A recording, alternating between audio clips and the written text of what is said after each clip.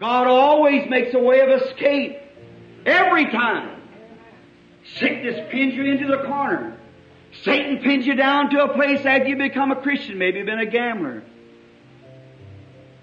You see it? The cards are on the table. Come on, John. We know it's in you. Satan is there to tempt you.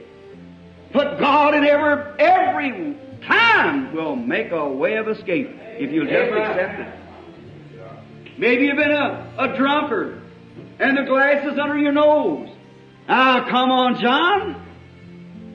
Now, if you want to heed to that voice, you'll go right straight out to your waller again. But God is always there.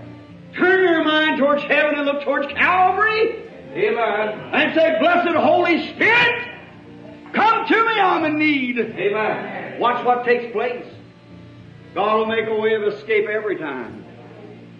For He will. God has always did it.